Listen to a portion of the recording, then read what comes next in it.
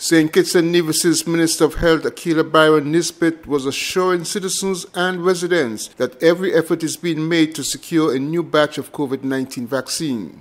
There is concern in some quarters that it will be difficult to get enough vaccines to reach herd immunity given the shortage of vaccines globally. With the start of community spread on St. Kitts, the rate of vaccination increased significantly, but the current batch of the AstraZeneca vaccine is not enough to achieve herd immunity. I want to assure the public that the Ministry of Health continues to work behind the scenes to secure more vaccines. As you have heard, the current batch of vaccine we have would expire on June 30th. At this stage, based on the numbers we do believe that we're able to use all of those vaccines by June 30th.